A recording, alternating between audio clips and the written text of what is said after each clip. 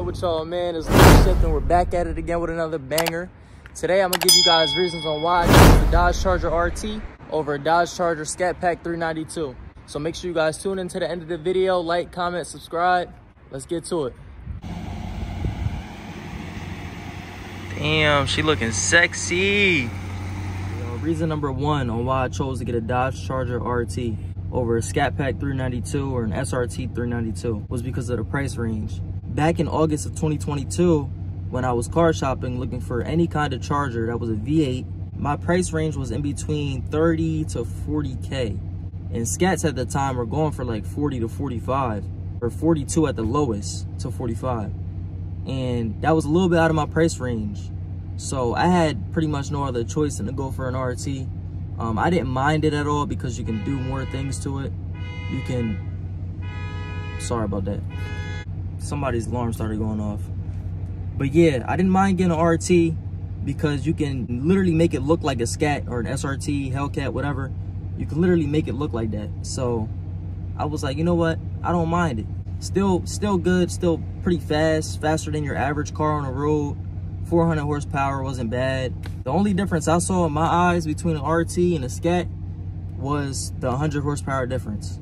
And you can easily make this thing push 6 to 650 easily if you just throw some money at it. But yeah, that's reason number one on why I wanted this Another car. reason on why I chose the Dodge Charger RT over the SRT or um, Scat Pack 392 was because the RT can actually handle boost. The 6.4 liter can't. So you can still tune it. You can do what you want to it. But it can't handle boost as good as the 5.7. That's another main reason on why I got this car. That's about it for that reason. Number two. Reason number three on why I wanted the Dodge Charger RT over the Scat. So, reason number three is the reliability. And I felt as though the RT will be a better daily driver than a Scat. Scat is a little little too over a daily driven car. Like if you have a scat, like I know a couple people who have scats that have a daily driver or a backup car. So don't get me wrong, you can still daily drive it, but the RT you can, you know, you can daily drive this thing like crazy. Right now I'm pushing 50K miles, still running good, no problems with it, very reliable. It's more reliable than any of the cars that I've had in the past. I've had way more issues with all the other cars with my Infiniti with only 100K miles on it with my Toyota Camry that had 150K miles on it than this. So pushing 50K miles, no problems at all, no mm-hmm. issues, still running good. It's pretty reliable. So that's that's another reason why. Reason number four, back to what I was saying with the body style, the, the SRT body style, the SRT, every, this literally looks like a Hellcat, like from the outside in. Like, it's just not a Hellcat engine in it. So I rather I rather save like about 10 to 15,000 to get an RT to make it look like a, a cat or SRT scat and put that couple thousand into the engine to make it push that much power. So that's another reason why I got it. So all around this car is just great. I get a lot of looks, I get a lot of attention um, just from it being loud. It is straight pipe. At this point, I was like, as long as I got a V8 charger, I really don't even care, to be honest. So 34K, I couldn't go wrong with this John, so that's my baby. Yeah, let's move on to reason number five. Guys, reason number five, man.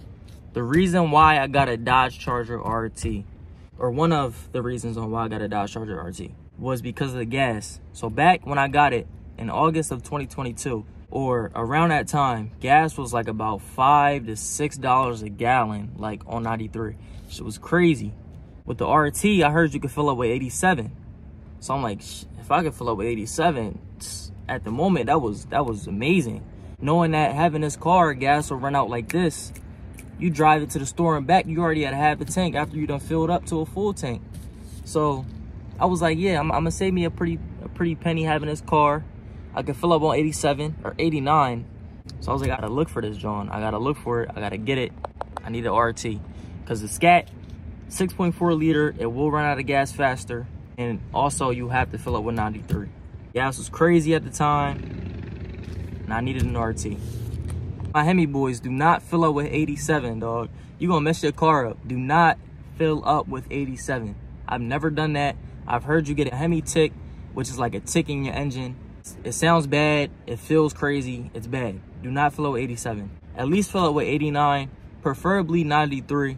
I don't think I've ever filled out 89, maybe once, but most of the time 93. Gas did go down a little bit, so right now we sitting at like three or four dollars a gallon, which ain't too bad, but that's pretty much all the reasons on why I got this car. I thought it was a great car in general. I heard it was very reliable. Still got the SRT body style. Still break necks, Still can be loud. Still a V8. You got all the features you would get in a Hellcat. Great car. Great, great car. All right, guys. Those are my top five reasons on why I got a Dodge Charger RT over the SRT 392 or Scat Pack 392. Uh, make sure you guys like, comment, subscribe. Check out all my other videos that I drop. I will be dropping content like every, probably like once or twice a week. Um, I'm trying my best. I, I work too much, so I won't be able to upload every day, but I'm trying my best to. That's about it, man. Share this joint out with your friends, your family. Give me the 500 subscribers. Thank you guys for tuning in.